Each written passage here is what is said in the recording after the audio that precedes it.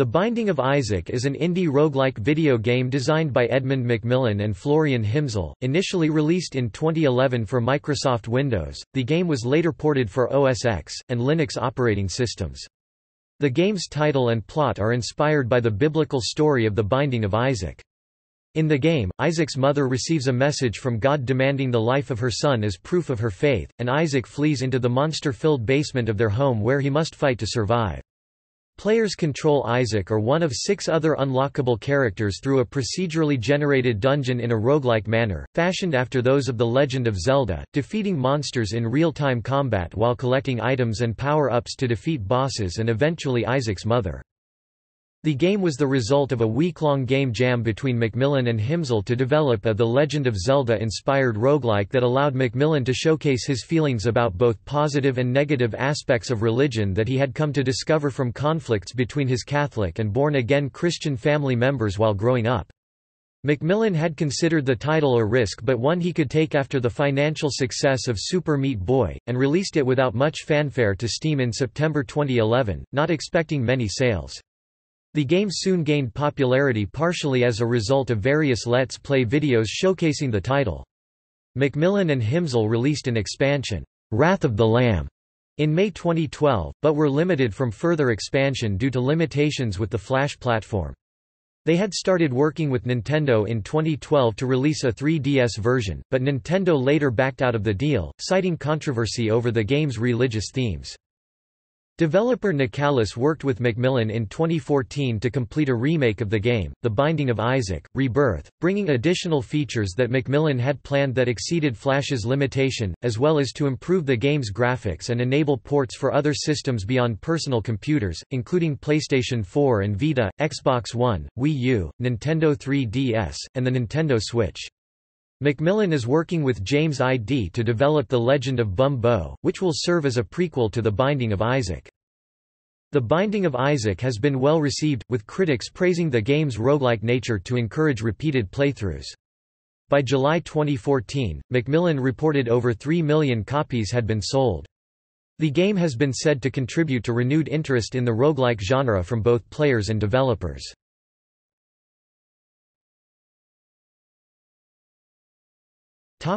Gameplay The Binding of Isaac is a top-down dungeon crawler game, presented using two-dimensional sprites, in which the player controls Isaac or other unlockable characters as they explore the dungeons located in Isaac's basement. The characters differ in speed, amount of health, amount of damage they deal, and other attributes. The game's mechanics and presentation is similar to the dungeons of The Legend of Zelda, while incorporating random, procedurally generated levels in the manner of a roguelike game. On each floor of the basement dungeon, the player must fight monsters in a room before continuing onto the next room. This is most commonly done by the character's tears as bullets in the style of a twin-stick shooter, but the player can also use a limited supply of bombs to damage enemies and clear out parts of the room. Other methods of defeating enemies become possible as the character gains power-ups, items that are automatically worn by the player character when picked up that can alter the character's core attributes, such as increasing health or the strength of each tear, or cause additional side effects, such as for allowing charged tear shots to be fired after holding down a controller button for a short while, or a means to fire tears behind the character. Power-ups include passive items that improve the character's attributes automatically, active power-ups that can be used once before they are recharged by completing additional rooms in the dungeon, and single-use power-ups such as pills or tarot cards that confer a one-time benefit when used, such as regaining full health, or increasing or decreasing all attributes of the character. The effect of power-ups stack, so that the player may come into highly beneficial power-up combinations. Once a room is cleared of monsters, it will remain clear, allowing the player to retrace their way through the level, though once they move onto the next level, they cannot return. Along the way, the player can collect money to buy power-ups from shopkeepers, keys to unlock special treasure rooms, and new weapons and power-ups to strengthen their chances against the enemies. The player's health is tracked by a number of hearts. If the character loses all their hearts, the game ends in permadeath and the player must start over from a freshly generated dungeon. Each floor of the dungeon includes a boss which the player must defeat before continuing to the next level. On the sixth of eight floors, the player fights Isaac's mother. After defeating her, Isaac crawls into her womb. Later levels are significantly harder, culminating in a fight against the heart of Isaac's mother on the eighth floor. An optional ninth floor, Sheol contains the boss Satan. Winning the game with certain characters or by certain conditions unlocks new power-ups that might appear in the dungeon or the ability to use one of the other characters. The game tracks the various power-ups that the player has found over time which can be reviewed from the game's menus.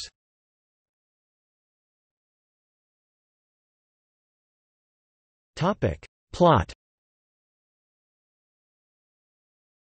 The Binding of Isaac's plot is very loosely inspired by the biblical story of the same name. Isaac, a child, and his mother live in a small house on a hill, both happily keeping to themselves, with Isaac drawing pictures and playing with his toys, and his mother watching Christian broadcasts on television. Isaac's mother then hears, "...a voice from above," stating her son is corrupted with sin, and needs to be saved. It asks her to remove all that was evil from Isaac, in an attempt to save him. His mother obliges, taking away his toys, drawings, and even his clothes. The voice once again speaks to Isaac's mother, stating that Isaac must be cut off from all that is evil in the world. Once again, his mother obliges, and locks Isaac inside his room. Once more, the voice speaks to Isaac's mother. It states she has done well, but it still questions her devotion, and tells her to sacrifice her son. She obliges, grabbing a butcher's knife from the kitchen and walking to Isaac's room. Isaac, watching through a sizable crack in his door, starts to panic. He finds a trapdoor hidden under his rug and jumps in, just before his mother opens his bedroom door. Isaac then puts the paper he was drawing onto his wall, which becomes the title screen. During the game's loading points, Isaac is shown curled up in a ball, crying. His thoughts are visible, ranging among rejection from his mother and humiliation from his peers to a scenario involving his own death. The game features 13 possible endings, one after each major boss fight. Topic development and release The Binding of Isaac was developed following the release of Super Meat Boy, which McMillen considered a significant risk and a large time effort. When Super Meat Boy was released to both critical praise and strong sales, he felt that he no longer had to worry about the consequences of taking risks with his finances supported by its sales. He also considered he could take further risk with the concept. The Binding of Isaac's main concept was the result of a week-long game jam that McMillen had with Florian Himsl. At the time, his co-contributor on Super Meat Boy, Tommy Refenes, was on vacation. The concept McMillen had was twofold, to develop a roguelike title based on the first The Legend of Zelda game's dungeon structure, and to develop a game that addressed McMillen's thoughts on religion. McMillen had been inspired by Shigeru Miyamoto, the designer of the original Zelda games. Random rooms were created for each floor of the dungeon by selecting 10 to 20 rooms from a pre-built library of 200 layouts, adding in the monsters, items, and other features, and then including fixed rooms that would be found on each floor, such as a boss room and treasure room. In expanding the gameplay, McMillen used the structure of Zelda's dungeons to design how the player would progress through the game. In a typical Zelda dungeon, according to McMillen, the player acquires a new item that helps them to progress farther in the game. He took the same inspiration to assure that each level in Isaac included at least one item and one bonus item on defeating the boss that would boost the character's attributes. McMillen also wanted to encourage players to experiment to learn how things work within Isaac, mirroring how Miyamoto had done with the original Zelda game. He designed the level progression to become more difficult with the player's progression in the game, as well as additional content that became available after beating the game as to make it feel like the game was long. McMillen designed four of the selectable characters based on the main classes of Dungeons and Dragons, Fighter, Thief, Cleric and Wizard. On the story side, McMillen explained that the religious tone is based on his own experiences with his family, split between Catholics and born-again Christians. McMillen noted that while both sides borne out faith from the same Bible, their attitudes were different. He found some of the Catholic rituals his family performed inspiring, while other beliefs they had were condemning of several pastimes McMillen had participated in like Dungeons and Dragons. He took inspiration from that duality to create Isaac's narrative, showing how religion can both instill harmful feelings while also bringing about dark creativity. McMillen also considered the scare tactics used by the Christian right to condemn popular media of the 1980s, such as heavy metal and video games.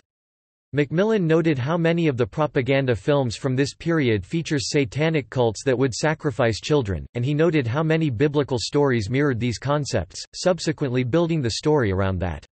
He also stated that he also tended to like really weird stuff relating to toilet humor and similar types of off-color humor that did not sit well with his family and which he had explored in previous games before Super Meat Boy. While Super Meat Boy helped to make his reputation including being one of the featured developers in Indie Game, the movie, he felt it was a safe game considering his preferred type of humor, and used Isaac to return to this form, considering that the game could easily be career suicide but would make a statement about what he really wanted to do. Within the week, they had a working game written in Adobe Flash's ActionScript 2. The two agreed to complete it out as a game they could release on Steam though with no expectations of sales. Completion of the game from the prototype to the finished state took about three months with part-time development. During this time, they discovered there were several limitations on the size and scope of both Flash and ActionScript that limited how much they could do with the game, but continued to use the tools as to release the title. McMillen said that because they were not worried about sales, they were able to work with Valve to release the game without fears of censorship or having to seek an ESRB rating. Releasing through Steam also enabled them to update the game freely, several times on its initial release, an aspect that they could not do with other consoles without significant cost to themselves. They did release without significant end-user testing, as it would have taken several hundreds of users to go through all the various combinations of items that a player could collect, and McMillen recognized they had released the title with their buyers being playtesters for them. A week after the Steam release, McMillen released a demo version via the website Newgrounds. Merge Games produced a physical edition that included the game, soundtrack, and a poster, for stores in the United Kingdom in 2012.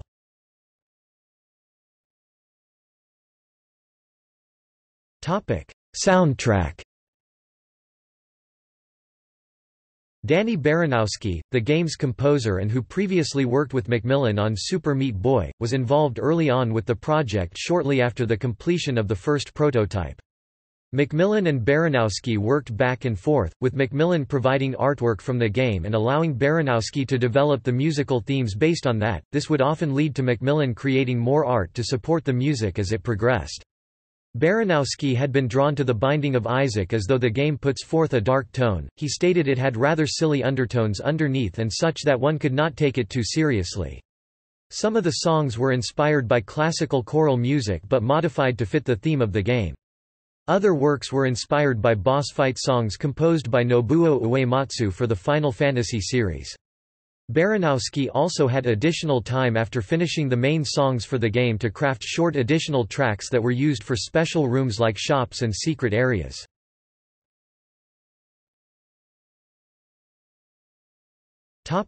Cancelled Nintendo 3DS port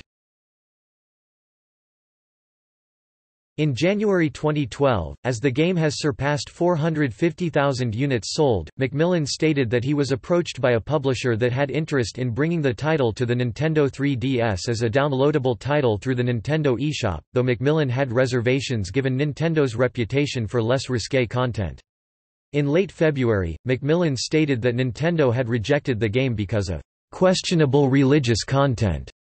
He believed this stemmed from Germany's classification board rating the existing Windows version of the game as age 16 plus due to potentially blasphemous content, the first such time a game was rated in that manner in the country. McMillen noted that Nintendo executives he spoke to before this decision had noted some blasphemous content would have been acceptable, and were more concerned with overtly religious content. He also noted that he was approached about his willingness to make some changes to the game to make it more suitable for the 3DS, but never was given a list of specific changes.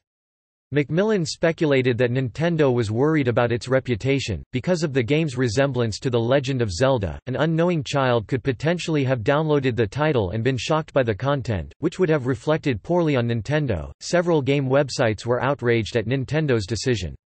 Though disappointed with Nintendo's decision, McMillen did not think the loss of the 3DS port was a major issue, and saw a brief sales burst on Steam as the news was covered in gaming website.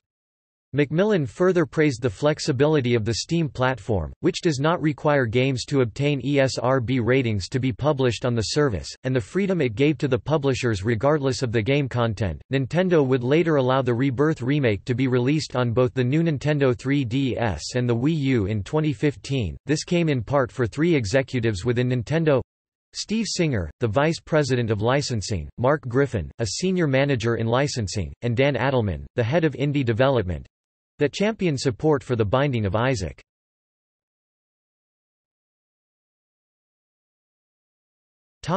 Wrath of the Lamb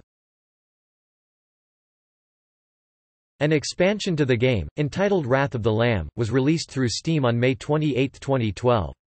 McMillen was inspired to create the expansion not only due to the success of the base game, but because his wife Danielle had fully completed the base game, the first game he had written in which she had shown significant interest. The expansion adds 70% more content to the original, and contains more than 10 bosses, over 100 items, over 40 unlocks, two additional endings, and two additional optional levels. This expansion added new, alternate floors, which can replace the normal floors, creating an alternate route through the game. These floors contain harder enemies, and a different set of bosses. Other features include a new item type, trinkets, which have a variety of passive or triggered effects when carried, as well as new room types. McMillen had plans to release a second expansion beyond Wrath of the Lamb, but was constrained by the limits of Flash at this point.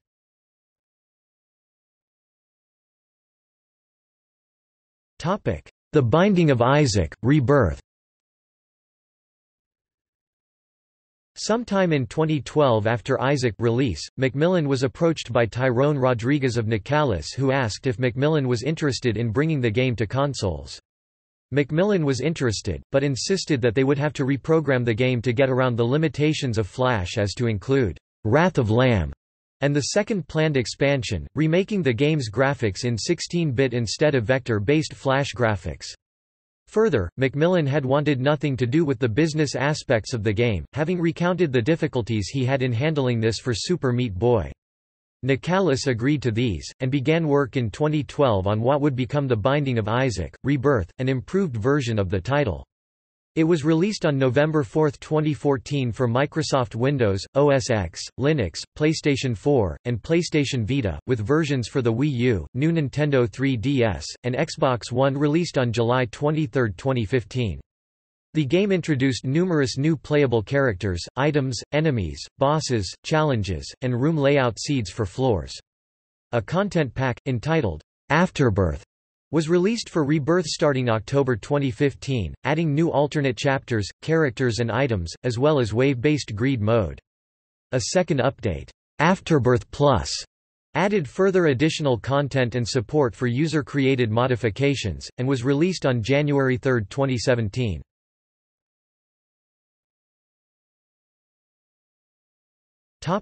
Other games McMillen is currently working with James ID to develop The Legend of Bum Bo, which McMillen expects to release between December of 2018 or first half of 2019. Bum Bo is described as a prequel to Isaac, and Isaac and Gish will appear as characters in the game. Isaac also appears as a playable character in the fighting game Blade Strangers and the puzzle game Crystal Crisis. On June 27, 2018, Edmund McMillen announced a card game adaptation in cooperation with Studio 71 titled The Binding of Isaac, Four Souls.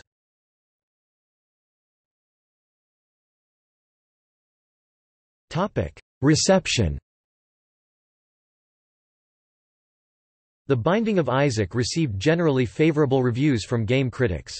On Metacritic, the game has an average of 84 out of 100 based on 30 reviews. The Binding of Isaac has been received by reviewers as a game with high replayability with the extensive range and combinations of power-ups that the player can encounter during a run-through, while providing an accessible Zelda-inspired framework that most video game players would recognize and easily come to understand. John Teti for Eurogamer praised the game for its replayability through the randomization aspects, calling it the most accessible exploration of the roguelike idea that he had seen. Edges similarly commented on the lure to replay the game due to its short playthrough time, calling it an imaginative and quick-witted arcade experience that manages to be both depraved and strangely sweet by turn. GameSpot's Maxwell McGee stated that the game smartly has removed extraneous features such that what remains is a tightly focused game that continues to feel fresh even after multiple completions. Though the game is considered to be accessible to new players, reviewers found the game to be a difficult challenge, often set by the randomness of what power-ups the player happened to acquire during a single run. Writers for the AV Club rated the game an A on a grading scale, and favorably compared the title to McMillen's Super Meat Boy, requiring the player to have masochistic patience in the face of terrible odds. This difficulty was considered mitigated by the large number of possible power-ups that the game offers, most would not be seen by players until they have replayed the game many times. McGee noted that while players can review what items they have discovered prior to a run-through, this feature does not explain what each item does, leaving the effect to be determined by the player while in-game. Game Informer's Adam Biesener noted that while The Binding of Isaac had a number of software bugs on release that may briefly detract from the experience, McMillen's vision shines through in the game's playability, art style, and story. Neilie Johnson for IGN found that some players may be put off by the game's crudeness but otherwise, it's totally random, highly creative and brutally unforgiving. Similarly, Nathan Meunier for GameSpy noted the game had some shock value that one must work past, but otherwise was imaginative and utterly absorbing. Alternatively, Jordan Devore for Destructoid considered the visual style of the game one of its biggest selling points, following from McMillen's past style of dark comedy from Super Meat Boy. Baranowski's soundtrack was found by reviewers to well suit the themes of the game, and used appropriately to avoid extensive repetition during a playthrough. Kirk Hamilton of Kotaku called the soundtrack as the combination of several genres and the musical styles of Danny Elfman, Muse, and Final Fantasy that created something dark and unique.